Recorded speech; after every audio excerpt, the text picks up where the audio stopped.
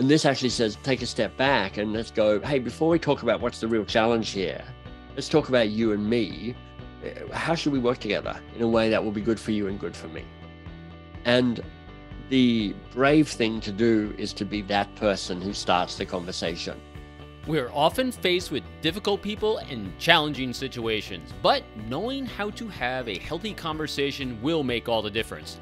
Therefore, check out this compelling episode with world renowned author of The Coaching Habit, Michael Bungay Stanier, and discover how you can work with almost anyone. Welcome to the Forged by Trust podcast. I'm your host, Robin Dreeke, professional speaker, executive coach, former U.S. Marine, spy recruiter, best selling author, and your trust and communication expert. Coming up next on the Forged by Trust podcast. And it's really that moment where I'm like, ask a question and be present to the answer. Ask a question and know that their first answer might not be their only answer.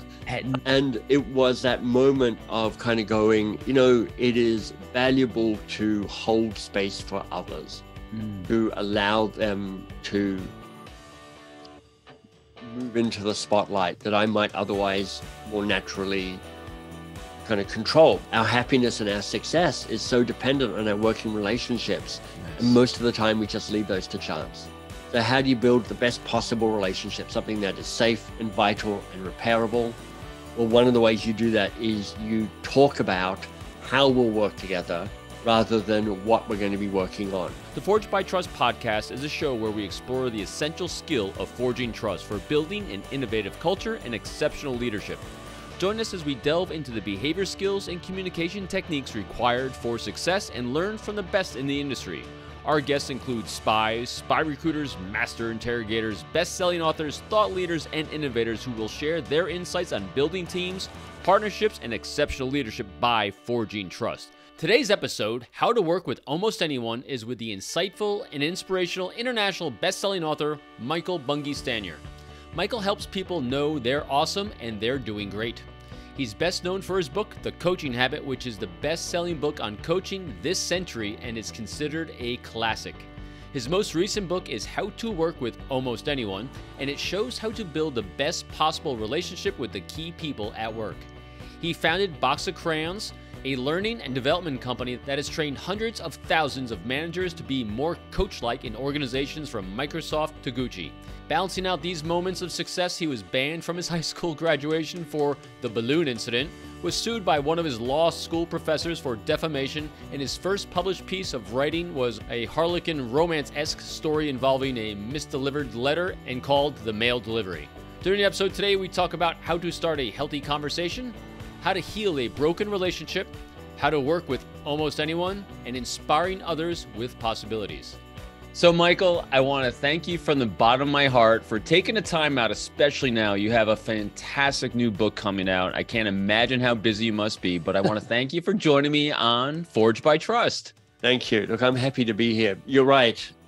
What people don't often know if they're not authors themselves is that, like, the one or two or three months before a book launch, you run around like a headless chicken in a in a in a desperate, needy, begging way, getting no actual feedback from the world about how it's going. So it's a bit of a kind of a demanding time. But I've now done enough books that I know how to get through this, and it's just part of the process. And June 27th, when the book is out, I can kind of relax and just let the thing go free. Absolutely. And for those listening, check it out in the show notes. We'll have all the links there. And so yes this manic life of making a massive difference in people's lives and for my show i'm hoping that you'll get a chance to kind of sit back for the mm. next you know 45 or 50 minutes and just relax as have a great conversation but starting with the most important thing and that is discovering the arc of people's lives because it all starts when we're young with the right person at the right time even sometimes trauma, but always something that gave us that initial oomph that says, this is the path of my life. And yours has been a path of creating great, strong relationships and being passionate about how to help other people do that. So, Michael, what was that, do you think, when you were growing up, that origin story that created this this path in your life? You know, it's a great question and I'm not entirely sure. I mean, I'm a big believer of that saying your inspiration is when your past suddenly makes sense. Yes. So when you kind of look back and you go, oh, that's why I hated that moment and I love that moment and I learned that thing and I struggle with this thing and I want to try prize for that thing. There are all these clues that, if you're lucky, come together in a moment where you're like, oh, I've got a sense of, of what I'm here to do. So there are, I'd say there are three moments that have helped catalyze how I show up in the world right now. The first was a thing, a disrupting moment. I was 14. I was at school. My Latin teacher, because I'm sorry, real quick. I'm sorry, real quick. Where did you grow up? I grew up, sorry, I grew up in Canberra in Australia. So I'm Australian born. My dad's English, my mum's Australian. They moved to Canberra when it was a, a new a newish city. Canberra's the capital of Australia, but it was built in between Sydney and Melbourne because Sydney and Melbourne couldn't decide where the capital would be. So I had a very happy childhood growing up. My parents were a great role model for parenting and strong relationships. I have two younger brothers. I liked school. I liked sport. I liked reading. So, you know, I my wife looks at my my family like you're the Waltons. I'm like, we're not quite the Waltons, but we were, we're a pretty content family un- unit for the most part. But 14, I'm in high school. My Latin teacher, because I had had this you know, for some reason, I thought studying Latin would be a good idea. Asked me, so what are you planning on doing after high school? I had not thought about it. it hadn't even occurred to me really that there was an after high school. Right. I said kind of just off the off the cuff, I'm planning on going to study at Oxford University because my dad, who's British, grew up in Oxford and went to study in Oxford and was a bit of a role model for me. So I'm like, well, if dad went to Oxford, I should maybe try and go to Oxford. And what did so, your dad do? He was an aeronautical engineer. Oh, big so he, pound brain. yeah. So, well, he bought, he he studied planes and he ended up buying planes for the Australian Air Force. That was his oh, kind wow. of job. And anyway, Mr. Lennox said to me, Well, to go to Oxford, you'll probably have to be a Rhodes Scholar. And I'm like, Okay, I don't know what that is, but noted. That's what I'm kind of setting as an intention. That was a, a, a seed planted that was really significant. The next seed planted probably was when I was 17 or 18, final years of high school. And I would find myself having gone out with my friends, sitting in the car with typically another male friend, listening to them talk about their angst filled life. and, you know, it's like it's all the drama that comes with the teenage life. And recognizing that I was quite good at being with somebody and listening to them, and also recognizing that I had no idea what I was doing and whether this was helpful or not. So when I was 19, I did my first training in asking questions and, and listening. It was for a youth suicide hotline or trauma hotline. So what, for, what, for, wow, that's amazing. What got you into that? Uh, I, you know, a friend of mine had done it, and I was kind of talking about this thing, and he said, "You should do, you should do Youthline," and I was like, "I should." And so I got trained in in that experience and Rogerian counseling, and it's really that moment where I'm like, ask a question and be present to the answer. Ask a question and know that their first answer might not be their only answer. At ask 19, a question, hold the space. That is crazy amazing that you're inspired to do that. That's not a typical thing for a teenager to do to be outwardly focused on others. Where do you think that came from? That I'm not sure. I mean, make no mistake, I had plenty of focus on me. I, mean, I was like, you know, sure. I was like a, a, bit about me, but my dad in particular was a very selfless man. He was always volunteering and contributing and ensuring that we were you know the, the word language i'd use now is giving more to the world than we take. That was very much his orientation. Wow. Uh, he was he was in service in various ways as a volunteer and the like all his life. And i feel like i've got some of that rubbed off. Absolutely. It seems like it. No doubt. Yeah. Right. so oh, I'm sorry. having the seed planted as a Rhodes Scholar, and then I became a Rhodes Scholar eventually, and went to England and met my wife, and she's Canadian, so that was a significant thing. Having this seed planted around listening and, and the power of that. And then probably about 20 years ago, so when I was in my mid 30s, a classic midlife thing, I joined the, gosh, I've forgotten the name of the organization. It'll come back to me. But it was basically a men's group to do men's work. And because I was thinking to myself, you know, I'm good at listening. I'm not that good at talking about my feelings. I'm not that good at even realizing what my feelings are. I'm a bit of a head, a brain attached to a body carrying the brain around. And I'd like to try and get a bit more integrated around that. So it was a place for kind of men to get together and talk about their stuff and talk about what's going on for them and kind of own the responsibility of what it means to be a, a a man in a kind of more complete sense. So this is not, just to be clear, not kind of like the right the right wingish kind of you know men over women thing. It's more a you know man we men have their own wounds and their own pain and their own struggles and they're basically mostly not as good at talking about it and getting support around it as women. That's why, for instance, the number of men committing suicide is much greater than the number of women committing suicide. Do you remember what you know, what some of the sparks or what was going on in your life? I mean, you said it was kind of like the midlife crisis thing then, but what else? Yeah. I mean, what what kind of directed you this that you think? You know, it wasn't a crisis, but I have always had a hunger to keep developing who I am, to try and become a more nuanced, subtle, wise person, to try and own the light and the shadows of who I am, the good, mm. the you know, the the dark, the messy, the screwed up. you know, to feel more completely, to contribute more completely. That's that's just a, a seed planted. I, that's just a, a, a part of the wiring that came that came with the that came with the initial build. I think. And curious too, Michael. You must have had a lot of really powerful moments doing that counseling in high school. That inspired you to keep going with it? Do you remember one that you kind of locked on to that said, wow, you know what? I think I can make a difference doing this that inspired you to keep going? Uh, well, weirdly enough, it's not really a moment doing Youthline, Lifeline that catalyzed this for me. It was actually, but about the same time. So going through the training, I suspect I was actually in a class at university in a tutorial. So not a lecture, but you know, like 15 of us sitting around talking about something about a book because I studied literature. Sure. And it was like me, my friend Michael, another Michael, and like 12 women. And Michael and Michael were doing a whole lot of the talking. because we're enthusiastic and we like books and we like ideas and we like pursuing that stuff.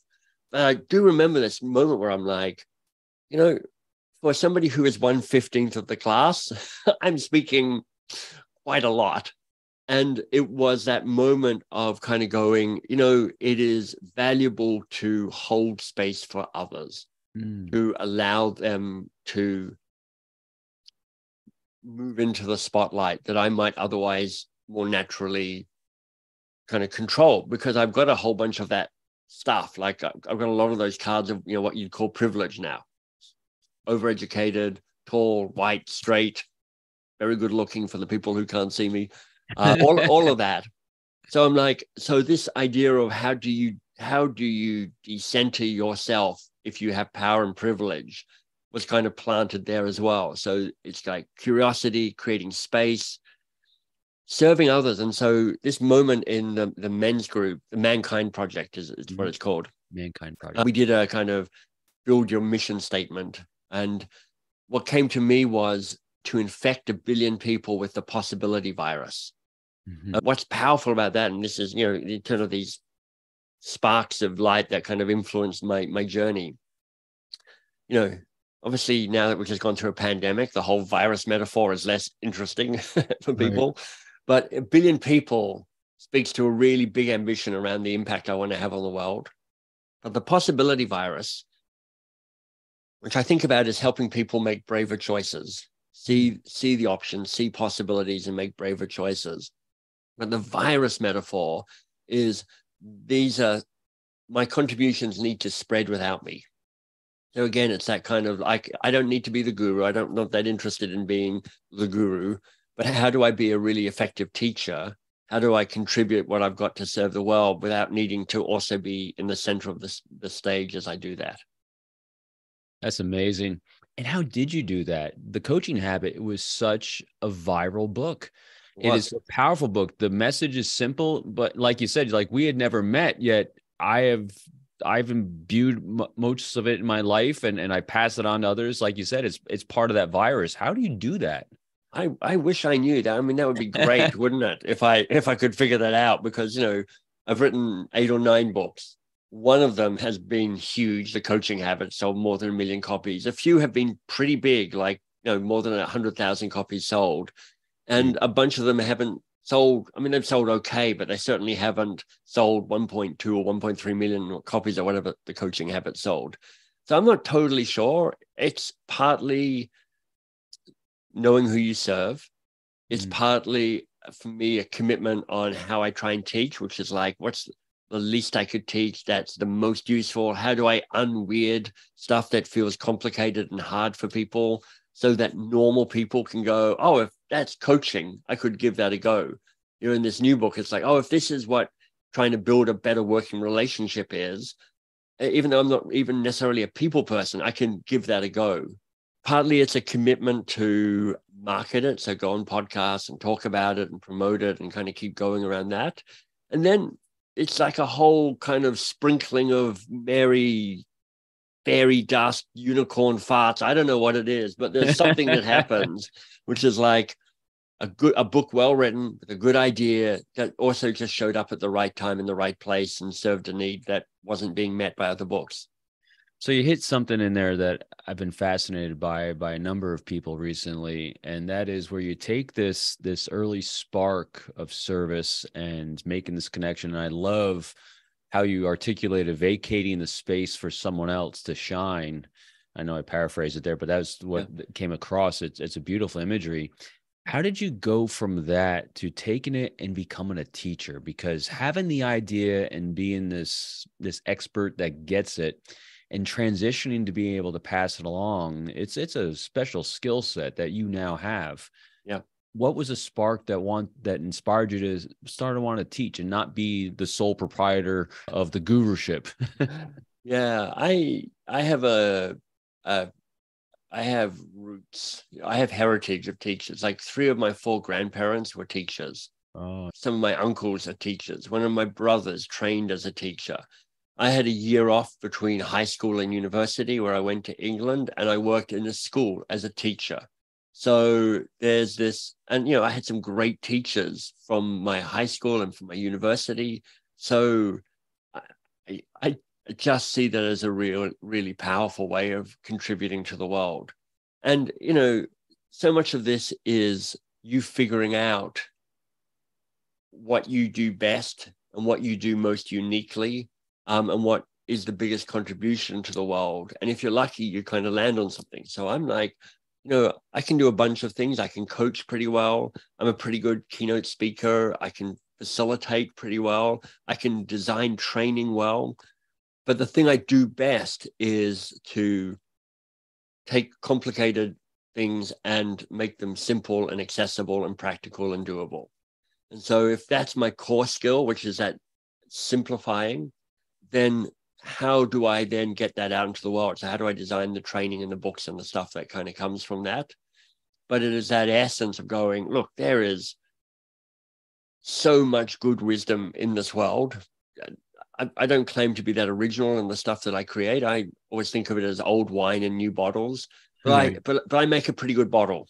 And I'm pretty good at trying to make some of this stuff more accessible for people so they can live a braver, better life. They can give more to the world than they take, that they can make braver choices. You've had a lot of great mentors in the teaching realm uh, over the years, it sounds like. You, can you maybe name or can you recall a couple of key things that might have you had like one of those aha moments like wow i'm going to take that and carry that forward well I, I speak to one of my teachers tim norfolk who taught me in high school and he was the first teacher that was willing to be provocative. You know, he had a he knew he had a group of smart kids. what did he teach? He taught lit- English literature, okay. and you know he would he would he in a in a really good way he would kind of push and needle and provoke. And there's something about the way he met our intelligence with his intelligence was much he's a very smart man he was much smarter than most of us but he had a kind of a lightness of touch mm. and and and a willingness not to talk down to us that felt thrilling i remember being thrilled at his classes because they were so kind of provocative and stimulating and this idea you know in the world that i work i find a lot of the way stuff gets taught can all be quite serious. This is this is all about this is about changing your life and changing your world. So we've got to treat it really seriously. And I'm going to tell you the terrible story of my terrible life and then how I overcame it. Then I can upsell you on my course at the back of the room. And I'm like, I'm I'm kind of allergic to a lot of that. A lot of what I try and do is like create a, a, a lightness of touch mm. and a levity and a playfulness and and a equality between me and the people that I'm working with that I could definitely see in something that Tim would have role modeled for me back as a 14 year old. I love that. That in the way you even said the lightness of touch. It's, yeah. so perfect. So we're doing the men's club, learning some more about ourselves. We're in our 30s, you said. Yep. What was next?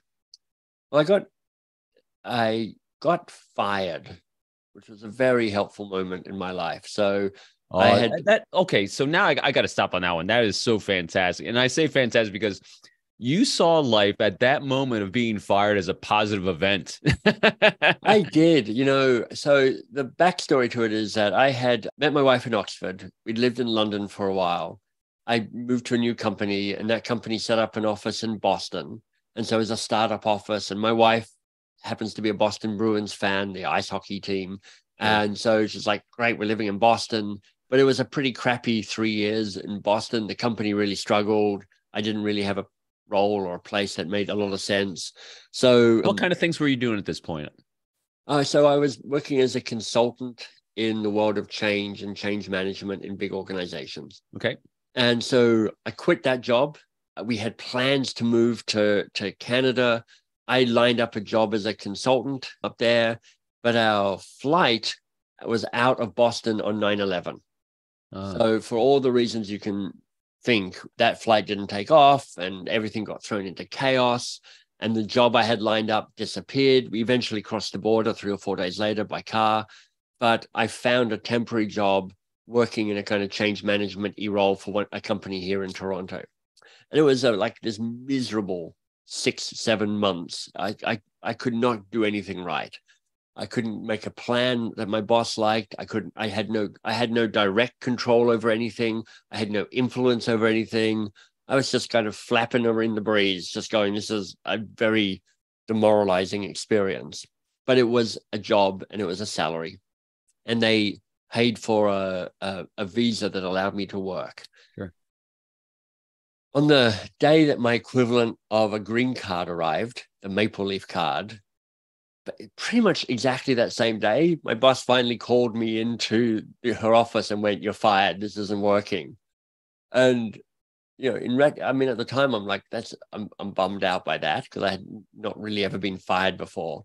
But you know, I probably would have tried to grind it out for another month or two or three or four as I was trying to figure out what to do next. And getting fired on the same week that my Maple Leaf card arrived, which meant I could work independently without a visa, right. was was fantastic. So I then found some part time work. I st- I effectively started what would become Box of Crayons, the training company I founded then, and it was kind of the start of me finally becoming an entrepreneur. A seed that I had been planted 10 years earlier, but I'd never quite figured out what to do. And now I'm like, now I have to figure out what to do because clearly the older I get, the the less employable I am. So I'm going to have to start figuring out how to make my own money and and start my own, own businesses. So that 10 years earlier that you just mentioned, what was it that you experienced that gave you that I'm doing my little fingers like this, you know, yeah. that gave you that that little nugget of entrepreneurship that entered your system? Yeah, so the first job I had when I finally left university because I spent a long time in university. I did 6 years in university in and Australia. I did a com- combination of literature and law. So I did two degrees concurrently in wow. Australia, which is not uncommon. They often do these combined degrees. And in Australia, a law degree is an undergraduate degree. And then I won this Rhodes Scholarship that took me to Oxford to do a master's degree in literature. So now I kind of effectively spent eight years in university, which was too long. I mean, it was fine. I, I enjoyed most literature. of it. You but I'm like, it's a lot of time. you know, I'm now in my mid 20s. I still had no idea what I was doing or what I wanted to do or who I was trying to be when I grew up. And I landed in a innovation company, helping invent new products and new services.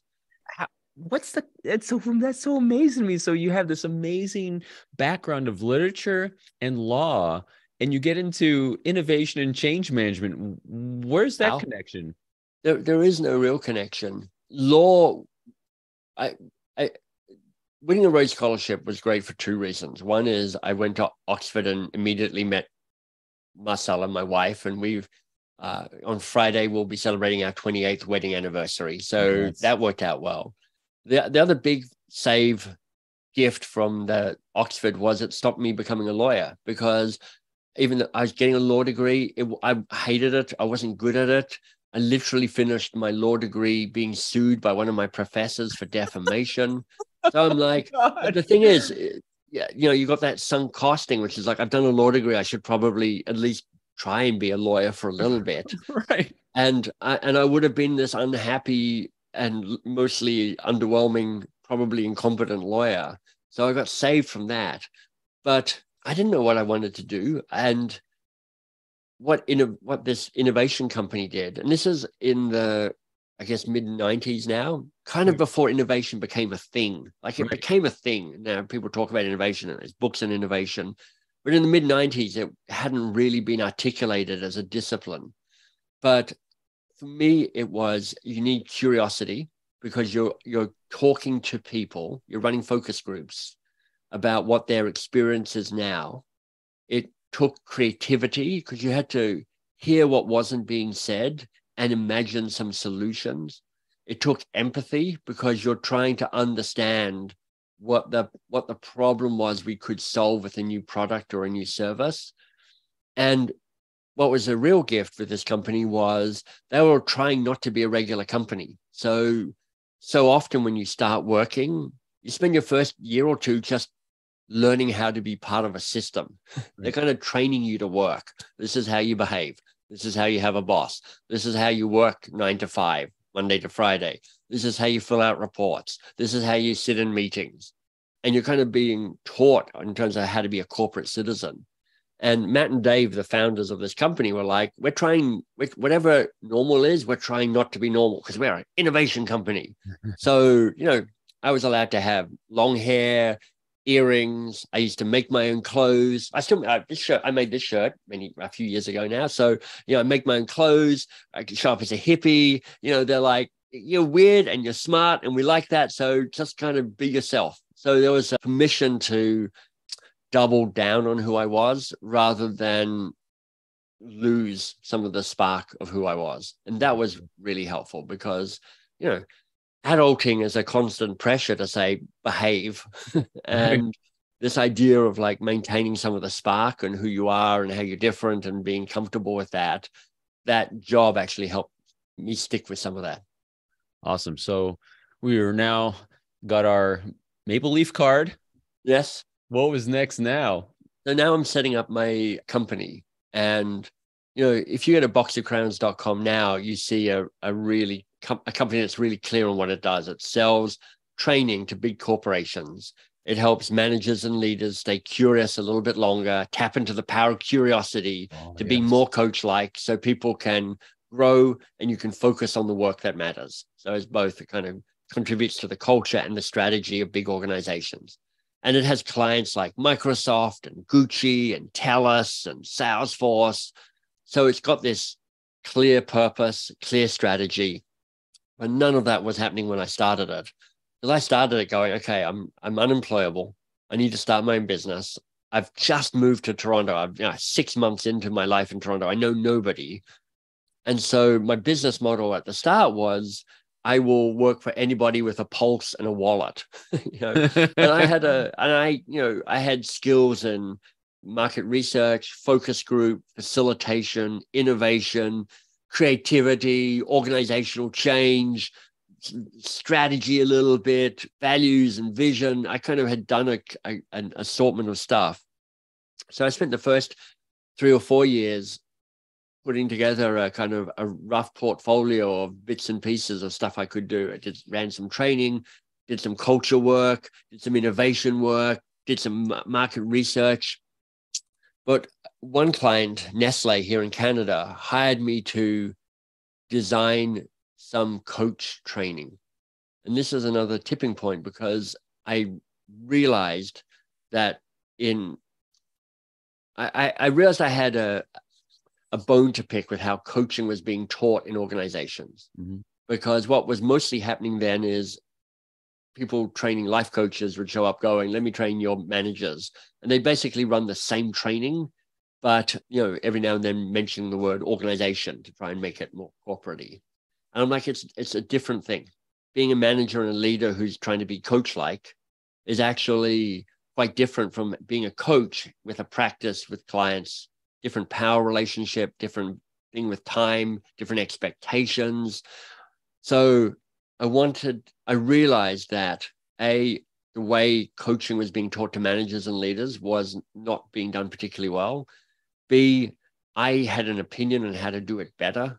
I'm like, you have to build it around the reality of a busy, overwhelmed manager and that's where my all that kind of focus group stuff I did, where I was trying to get into the heads of the consumers, was really helpful because I was in the heads and the hearts of busy managers. And thirdly, I could sell it. Like there was a need for this, and that's the magic kind of combination, which is like something different, something you care about, something that you can sell. If you get that, then you've got the the makings of a potential business. So it took a while. It took a while for Box of Crayons to have the courage. And by that, I mean me. It took a while for me to have the courage to say, Box of Crayons just does this and it doesn't do other stuff. But after a while, we got there and we've done that for quite a while now. So I founded and led that for quite a few years. And then about four years ago, I stepped away from being the CEO of that and handed it over to Shannon, who is a far better CEO than I will ever be and now I started a, a smaller company after that. What do you think it was that gave you the courage? Courage to step away from box of crayons or something else? It was the courage to really focus in on the oh, coaching yeah. aspect. Oh, I, what was it then? I think partly it was just because every single thing I read about strategy everything I think I taught about strategy was like, look, strategy is saying yes to something and no to a whole bunch of other things. Right. And strategy is saying no to the stuff you don't want to do, but it's also saying no to the stuff you do want to do so that you have a singular point of difference. So it was a combination of having some success and making some sales around that and having some coaches and teachers and tutors and mentors who finally went, Michael, for God's sake, man, you know this now act on it. Be brave enough to say no. So I think I just got there eventually. It took me longer. I probably could have got there faster, but you know, you get there as fast as you can. All right. So we had the courage to step away. When did the writing really kick in? Well, the first book I ever wrote was called Get Unstuck and Get Going on the Stuff That Matters. And it was a book I self published, um, 2005, I think, something like that. And I'd had this idea and I thought it was a really great idea. It's like early on in my kind of coaching world. So in the two, early 2000s. Mm-hmm. And you know, those kind of kids flip books that have like a ballerina's head and a soccer yeah. player's body and a scuba diver's legs, and you can you know, flip them around and make combinations. Right. Something I never found that much fun. I'm like, I don't get the joy of a, that weird combination. But I thought it would be an interesting self coaching tool. So I created a book where you had the sort of flip sections. And one section was about quotes, and one section was about stories, and one section was about kind of models. But each section had a question or two attached to it. And the idea was you would show up and you would bring your challenge to the book. And you would go, okay, my challenge is I want to launch a new podcast. And you would open it up, it'd be like a 100,000 different combinations you could create. And you'd have three or four different questions that would provoke you to think of ideas and new insights and new angles into what this was. So, you know, inspiration is when your past suddenly makes sense. This is me knowing about lateral thinking and Edward de Bono's work and how to generate ideas through my work with the innovation thing, plus and noticing that a lot of coaching was, I thought, a bit mediocre and people could just do that work by themselves and wanting to kind of get out of get out of the spotlight, infect a billion people with the possibility virus. So I'm like, here's a way you can coach yourself. You can self generate new perspectives. And so I had this idea and I tried to make some prototypes and it was quite hard. And I kind of gave up because I'm like, I got a bit stuck and put it away in a drawer somewhere. And then one day, my cousin Robert called up and said, You know, that book you're talking about is such a good idea. I've been working with my boss here in England, and uh, it looks like you're not doing it. So do you mind if we do it? Because we love it. And I was like, what? What? so I was like, no, I am definitely doing it. And so that kind of accelerated. And my grandfather died about the same time and left me about $20,000. And I'm like, I'm going to spend all of that money on self-publishing this book. It was before self-publishing became a thing, and even it was really right. complicated. So it involved hiring a project manager and get it printed in Hong Kong. I mean, it was just right, a right. thing. But that was the first book, and that kind of got me started. And then I wrote another book, which I, I the the idea for it came to me while I was having a summer holiday in Einstein's cottage up in upstate New York. Now, Einstein's cottage sounds amazing, but the truth was it was this derelict, rundown, kind of holes in the wall, holes in the floor. It was, it was Yep. so so disappointing from what I thought Einstein's cottage would be. Walter Isaacson, one of my great biographers I'd love to read, did a great book on Einstein and describes it very well, just like that. That's per- I didn't know that, but that is perfect. So I stayed in that cottage. And so I woke up one morning, it was like four o'clock in the morning. It was stiflingly hot. There's no air conditioning. It's just right. like, ah, I can't go back to sleep. Went downstairs and I just had this idea for this book. It it was originally called Find Your Great Work. It then got published as Do, Do More Great Work. And it was a series of exercises to help you figure out what great work was for you, more impact and more meaning, and how exercises to kind of help you find, name, claim, and pursue your great work. So I went through the process of writing it. I I self-published it but just before I kind of announced it to the world, a New York publisher discovered it and went, "Hold the presses, we'll we'll take this on and we'll republish it." So I then went through the process of rewriting it with them. But that was my second book that came out in 2008, I think, called "Do More Great Work," and this is when the the the, the flywheel of writing started to turn for me. I did a partnership with Seth Godin in 2011, a book oh, called oh, yeah. End Malaria, which raised about four hundred thousand dollars for Malaria No More, which is another one of those moments of being in service because I was the editor behind it and I did all the work and I gathered all the things, but really uh, the the book got the credit and the and the book raised the money. But then things really got going with the coaching habit in 2016. Right. So that that book got turned down five or six times by the, the publishers for do more great work. So finally, right. I went screw it. I'm going to self publish it. And then since then, I've published a couple more books or three more books. And I'm really kind of stepping into this identity of being a writer, putting out books on a regular basis. Because, like I said way back when, I feel like that is possibly the thing I do most uniquely. And also, you have, as what I call reps. I mean, literature has been your life. Right, exactly. I've read a lot. And to be a good writer, you really often really need to be a good reader. And I'm a good reader. Yeah, it's it's a humbling it's a humbling thing. The more you read, the more humble you get, and you're like the last book you wrote, you're like, oh my gosh. And so with that, I'm curious. With all that you've written, you've read you've written tremendous bestsellers. What's different between what you've written before? Because it's an evolution of where we're at today. So yeah. where are we at today with your amazing book that's coming out? How to work with almost anyone. That's right. So it feels like it's a continuation of my style of writing. So I'm trying to write a short book.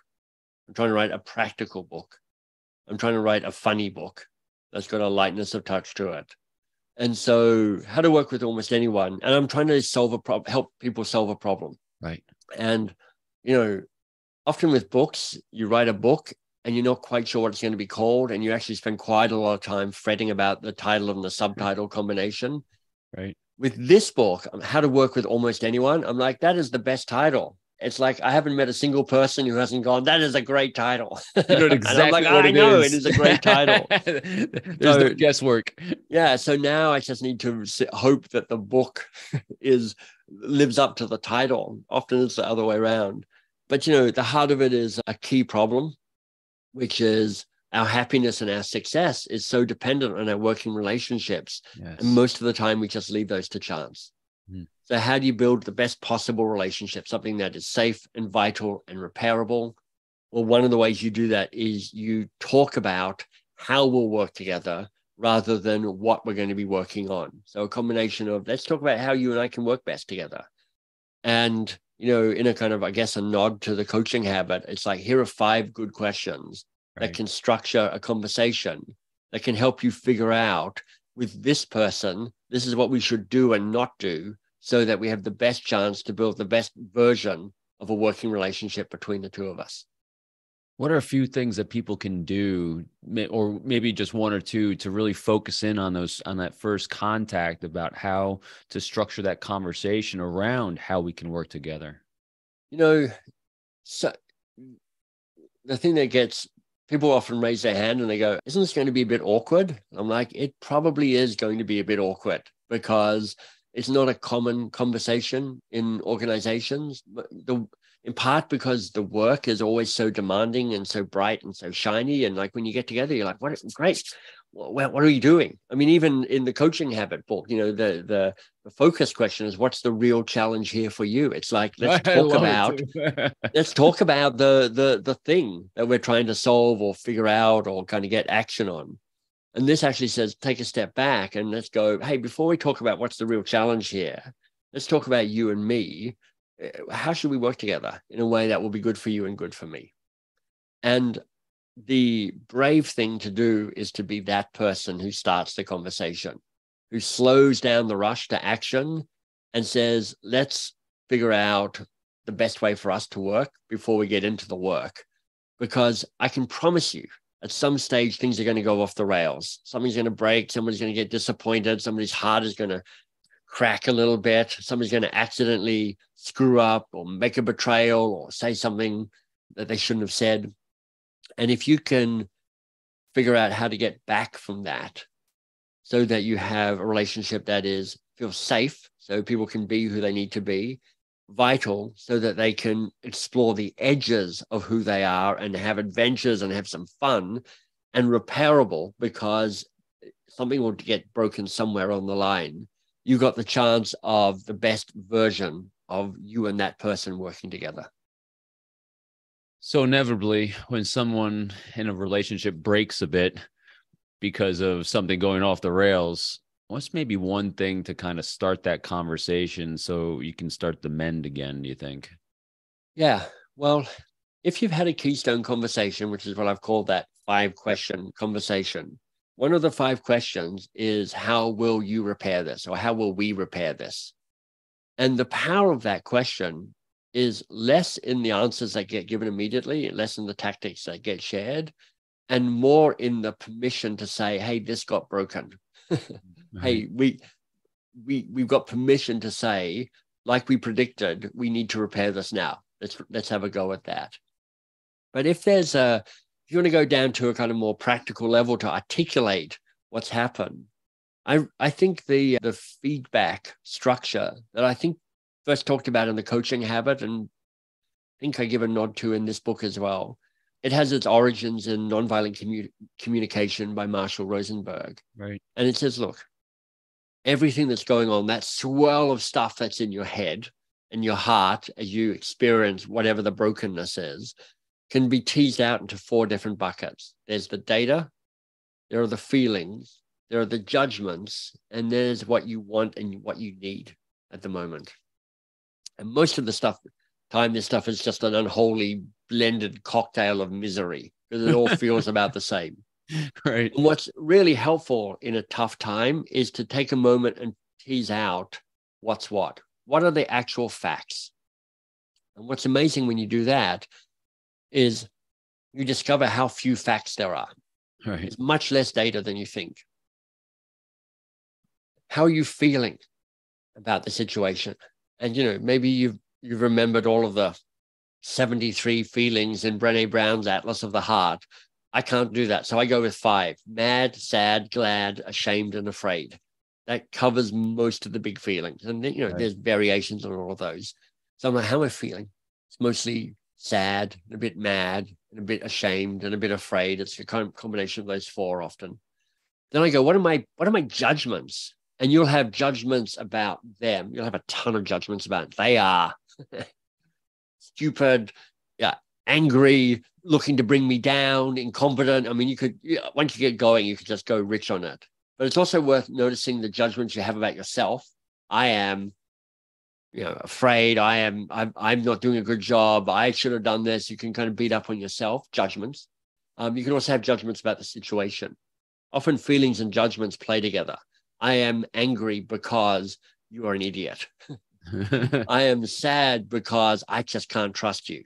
Those are all feeling judgment statements. And then there's what do you want and what do you need? And this is actually, I think, the, the thing that unlocks this because often I think people hesitate to give feedback, not because they're afraid of conflict or a difficult conversation, because they don't know what to ask for. Right. Once you know the request you want to make, what needs to be said so that other person has the context for that request actually becomes much clearer. So this idea of going, okay, this this thing got broken between us. Here's here's my request. Here's what I want. Here's what I need. Once you get clear on that, you get armed, get ready for that conversation to go back. Let's try and fix this.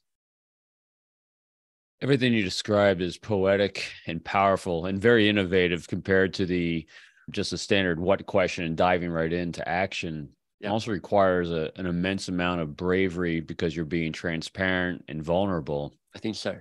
How do you inspire someone at the get go to do that? Because that's a challenge, I'd imagine. I don't know.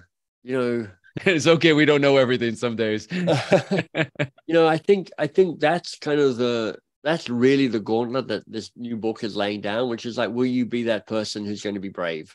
Oh, I love that. It doesn't always take bravery. You know, I, I got interviewed the other day by somebody who said, we just tried this out. We actually had an onboarding process, somebody new joining the company. So we just asked them these questions and it went really well. And it didn't feel like a brave thing. It felt like just a useful process to, to introduce. But there's no doubt that if you're if you introduce this, you're like saying, let's make this personal. let's right. just make this about you and me. And if you're the initiator, often there's a call to say, be the strongest signal, because the the depth and the expansion of the courage and the vulnerability you show is exactly how far the other person will go because you're you're you're role modeling the boundaries of what's in and what's out so the more willing you are to be open-hearted and courageous and and soft underbelly and all of that stuff, the more capacity the other person might have to to follow that as well. But you're right. It's like it's you're saying take off a mask, be ask for what you want, be human.